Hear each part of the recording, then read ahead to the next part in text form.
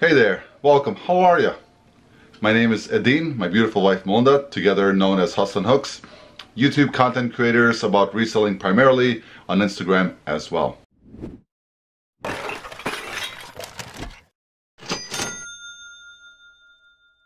And today is, of course, Monday, which means it is time for what's sold over the weekend, Friday through Sunday.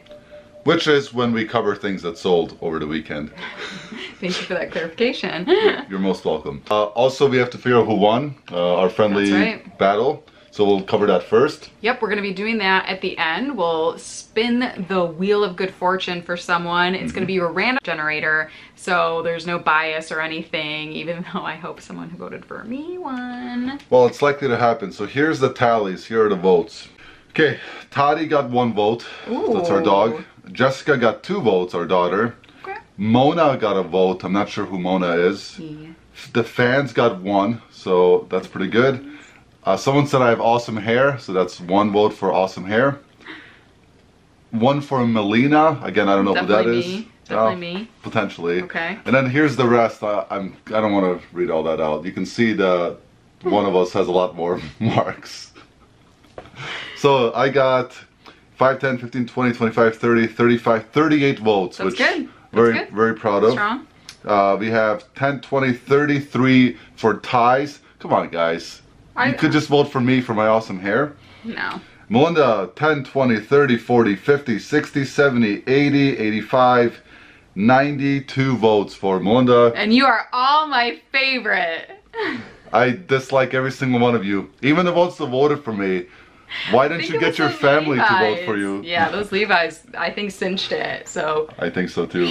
nice, nice little Hail Mary. Yeah. Uh, if you guys haven't watched that video, have no idea what we're talking about, go back. We'll link it in the description below so you can go check that video out. Thank you to everybody who voted, regardless of who you voted yeah, for. for sure. But mostly thank you to the people who voted for me.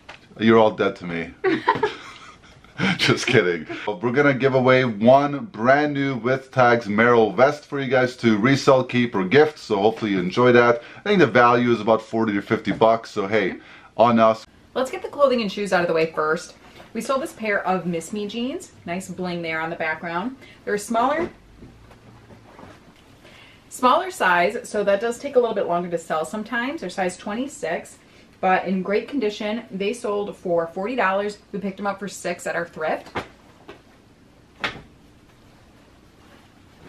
And we also sold this J brand pair of jeans. They are a flare leg jeans and we sold this exact same pair. We picked up two of the same pair at the same time for uh, five at our thrifts a little while ago. The other one sold fast. These ones had a lot of watchers and likers on Posh and Facebook. So finally they sold on an offer for 34, free shipping on eBay. Next, shoes. All of these next ones sold on Posh for $25 a piece.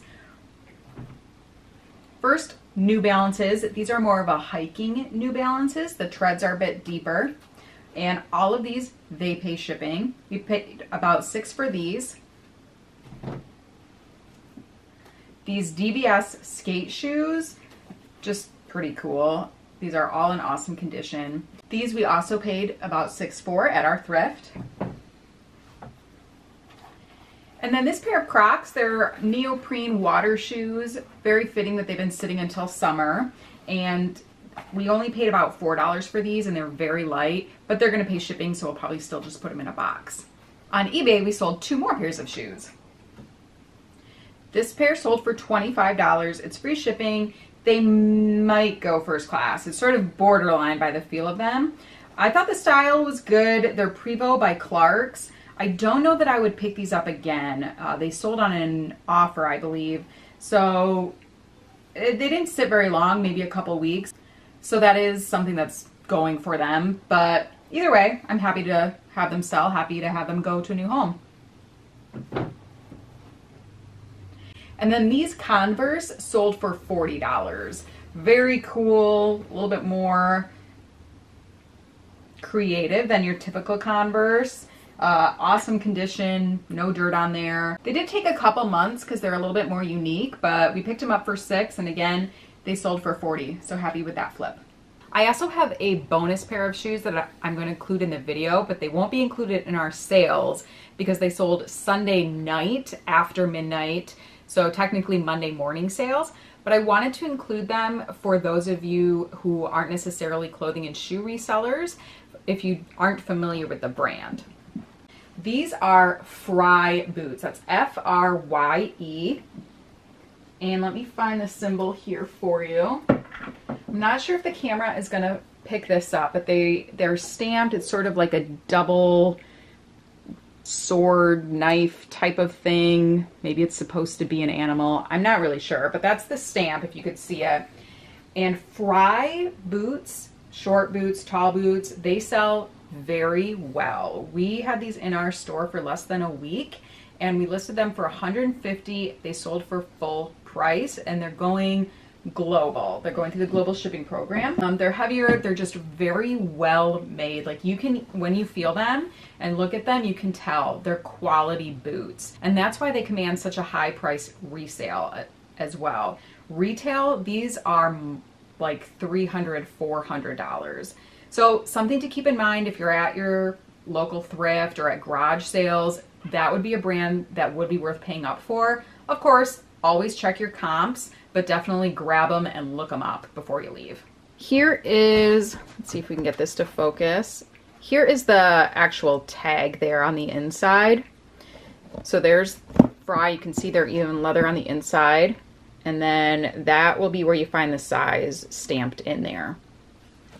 Hopefully that gives you something else to look out for when you're out this summer and Edin's going to come back. He's going to cover toys that sold this weekend.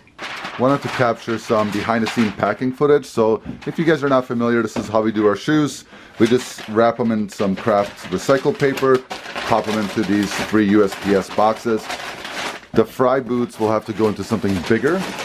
Um, I don't think they're going to fit a 12 by 12 because I really don't want to bend them. But yeah, that's it. A little behind the scene, getting them packed up. So here's how the shoes packed up. Those Crocs were very small. A regular shoebox just felt overbearing for those. They are posh, so we can put them in this box and it shouldn't matter with their labels. And then as you can see, we found a big box for those Frye boots and we did stuff some bigger bubble wrap in there as well. We just want to make sure that they get overseas safely. Notice a common trend is that we sell a good amount of jeans, shoes, toys, and video games, right? So these are kind of the markets or these are the items that we are sourcing constantly because they're really good flips for us. So let's get into the toys and video games that sold this weekend. First up, Sports Resort for Nintendo Wii is an excellent game to sell by itself, but what we've started doing lately is when we have these extra Motion Plus adapters, we pair them up, either two or one of them with the game, increases the value, helps it sell faster. So this small bundle sold for $50 with free shipping, and we have about $10 into it. Anytime you see Mario anything, definitely look it up. Mario Party 7 for the GameCube. I bought this with a bundle of Wii and a bunch of games all for $100 locally. This was in it. I actually ended up testing it on the Wii because it's backwards compatible with the GameCube. So Mario Party 7 for the GameCube sold for $80 with free shipping. 100% complete, really nice condition, excellent game to look out for. And one more Mario game, Mario Kart with one steering wheel sold for $38. Uh, we have about $5 into this as well. More video game stuff. So this came with another bundle that I bought for $100 a while ago. This sat in our store and I actually used Amazon to help me price it because I couldn't find a lot of comps on eBay. This is the 2011 version of Cabela's Dangerous Hunt. This is the game and this rifle, uh, toy gun all together. It was brand new sealed and I didn't know that when I bought it, which is awesome. That helped the value a bit. It sold for $100 with free shipping and it'll ship uh, in a 20 by 14 by 6 box for probably around 10 to $14 depending on where it's going. You've seen us sell a lot of these guitars. Here's another set of two in good working condition. They sold for $100 with the game,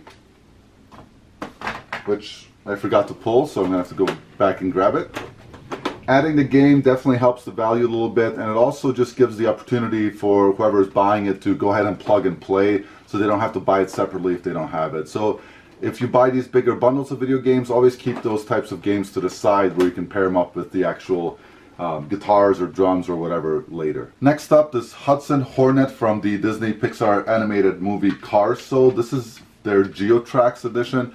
Just the remote and the car by themselves sold for $40. It did take a little bit to sell it. Looking for the right buyer. This was a rarer piece to find both working condition together. So that worked in our favor as we were able to ask for a higher price than if there were, you know, a lot of these available and not a lot of them that sell. So that sell-through rate we definitely use it constantly to help us with pricing. This came from a big lot of Geotrax. We're almost sold out of everything. So definitely a good buy. If you see big Geotrax lot, make sure that they have these remotes and cars in them. That's going to help the value a ton when you're reselling it. These uh, folks here, uh, five figures, 1990s. I think these are 1993 to 1995 from the Precious Family Dollhouse thing a couple of videos ago when we went garage sale and we found the house and a box of these toys. The dollhouse already sold for 90 shipped and another set sold on Facebook.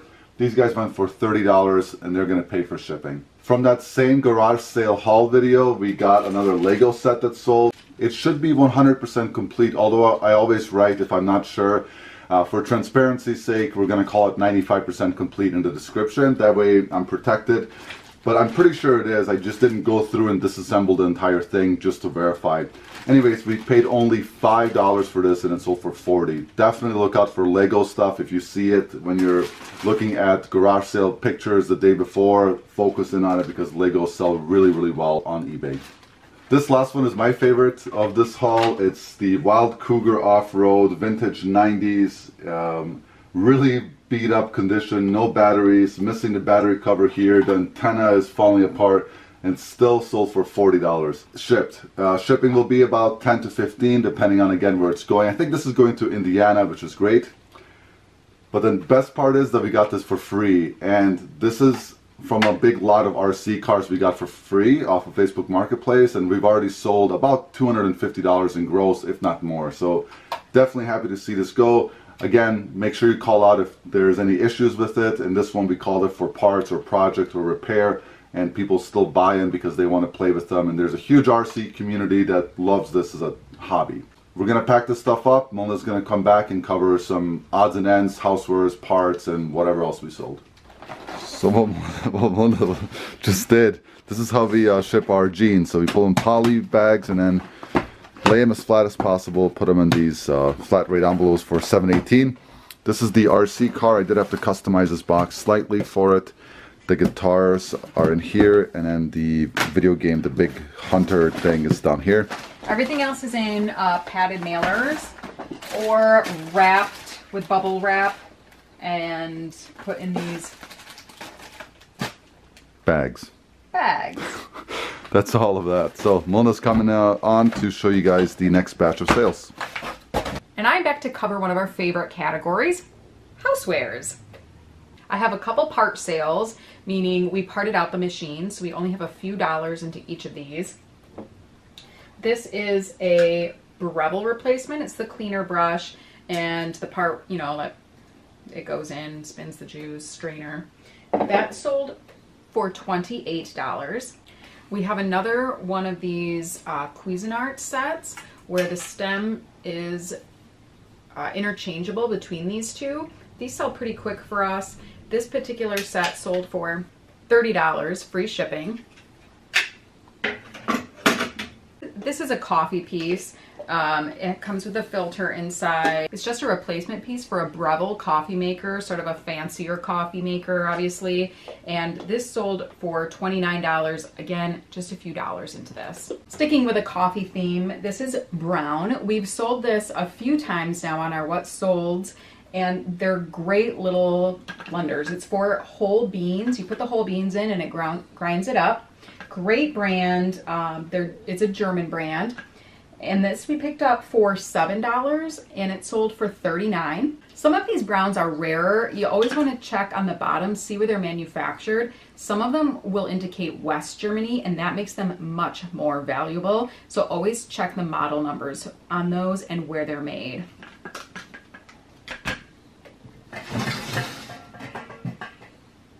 This is a Farberware, but it's a modern Farberware, obviously. It's a really big um, Dutch oven style dish. Up for $5 at our local Goodwill and it sold for $43. And these are a fun one. We really like this one. These are Andrew Pearce, just large salad serving utensils.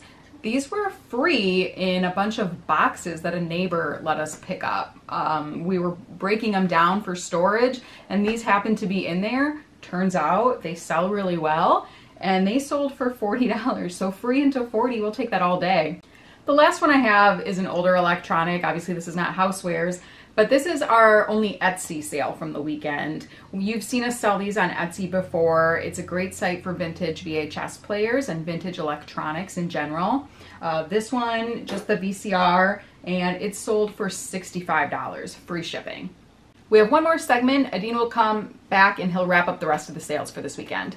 All right, here's all of that stuff packed up. This bottom one, custom box for that Farberware. This one is the VCR the spoons, these are wrapped uh, in a box, so sort of like a sushi roll cardboard around them so that they don't break in transit.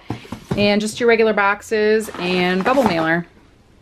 Before I get into the last of the what solds, I have three that already shipped and one local. The local was another one of those Hamilton Beach sandwich makers. Someone paid us $18 cash locally, came and picked it up. Two of these manga books sold. This was pretty crazy. I, I found how many? 12 of them for 50 cents each at a thrift store and we've sold almost $400 worth. They're all gone now. They sold really fast. One copy sold for 75 and the other one sold for 25 those are the ones you're seeing popped up. Those were already shipped on Friday. And this Volkswagen cargo organizer that I had from a Volkswagen lease a few years ago was just sitting in the garage so I listed it for 27 bucks and it sold. So I'd call it free but I lost a lot of money leasing that stupid thing so that was not free. That $27 is going to go towards the thousands of dollars I lost by being an idiot and leasing a car. The next three are all viewer sales, so thank you guys so much. We really do appreciate it. You guys are supporting our small business. Um, from both Mona and I, bottom of our hearts, thank you so much for supporting us. Let me show you guys what those were. This first one from Melinda's haul video. Uh, this one sold for $30 with free shipping, little Furby guy that she picked up, so thank you. This one was bought by PBJ Mom. This is for her son, so thank you so much. I hope he enjoys it. Um, these things creep me out, so hopefully they don't creep him out. Next are these vintage uh, Betty Boop floor mats. Uh, these were bought by Melanie. She reached out to us and asked uh, if she could have them or to purchase them, so thank you so much. They sold for $50. They were also for that garage sale haul video that we did just a couple of days ago. Next up, this vintage cake tin that we picked up, again for that garage sale video. Uh, this is going out to Angela. Angela has bought from us before, so thank you so much, Angela. We really do appreciate it. She's going to use it to decorate her home, which is pretty awesome. And another set from the garage sale video. These are all uh, DVDs from the WWF and WWE. These are going out to Momo. Momo, we really do appreciate you. He bought all these for $100. He's getting The Rock, brand new sealed. Stone Cold Steve Austin, brand new sealed. This is probably the most valuable. It goes for about 30 to 40 by itself. This Best of Raw, which is a pretty awesome one. Some funny moments, WrestleMania, and then also he's getting this six-pack Stone Cold Steve Austin six-pack of Attitude, which we realized afterwards that it has a brand new t-shirt inside of it as well. So thank you again, Momo. We'll ship these out today. The last sale I'm going to cover is not a viewer sale, it's just this lot of DVDs. We don't usually deal with DVDs, but I found this locally for $20, a, a whole bunch of them, and I sold them on Facebook Marketplace for $15 plus shipping. But what I did in between that is I plucked the ones that were valuable, some Star Wars, um, Lord of the Flies, Indiana Jones series, and those have already sold, and we have a couple more sets that are for sale. So it's just an easy double, you know, money doubler. So the ones that were not so valuable, we just flipped back instead of trying to get two, three dollars each for them. It's just a quick flip, and again, just a quick doubler.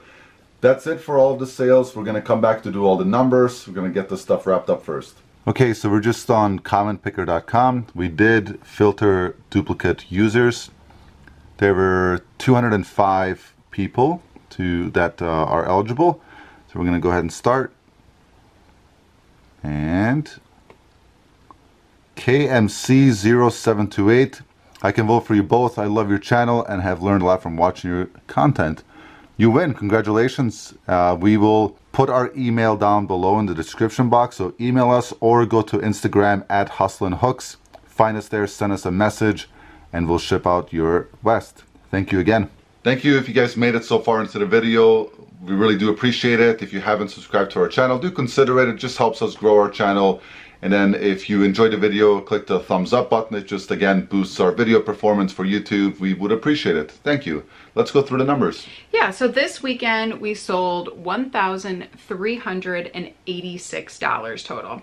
Um, it was a little lower again this weekend, a little higher than last week, but what we've noticed is there's actually less people buying on the weekends during the week. On Thursday, we sold almost $900 just that one day.